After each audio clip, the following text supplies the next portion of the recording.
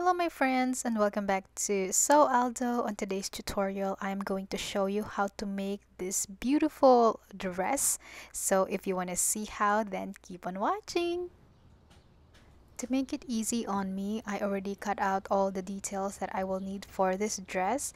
I am going to be using the same pattern pieces that I used for this gingham dress that I made last week. The only difference, I'm going to be adding ruffles on the bottom. Since the fabric that I will be using is lightweight, I am going to fully line the dress.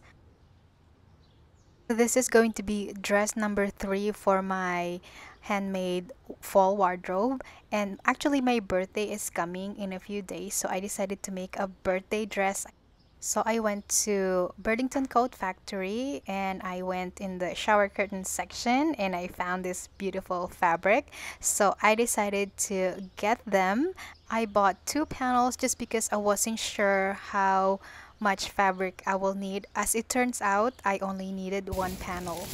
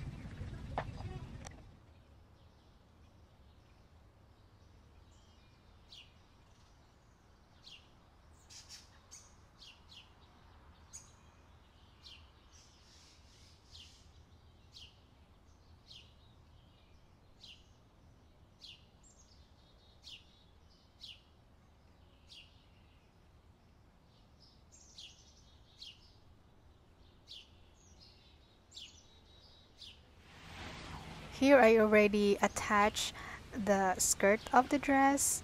The lining is also finished and it's looking beautiful. I also added the zipper.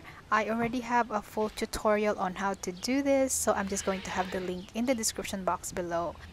Inside of the dress is perfectly done. I am super pleased about it.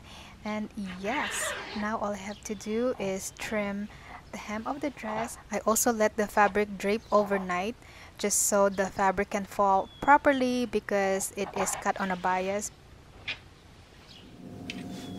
Now it's time to add the frills on the bottom of the dress. I am just going to gather the frill to match the circumference of the hemline and I'm going to pin it right sides together and I'm going to stitch it all the way around and the dress is done by the time I post this video, it's going to be my birthday already. So be sure to click likes and share this video as a birthday present to me. Ah, thank you so much. Do you think it's possible to get 100 likes for this video? That would really mean so much to me.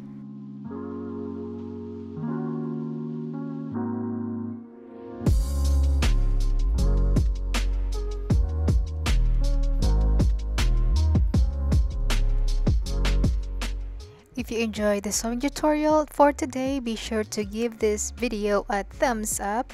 And if you haven't subscribed to my channel, please subscribe now for more easy and free sewing tutorials. Thanks so much for watching and I will see you in the next one. Bye!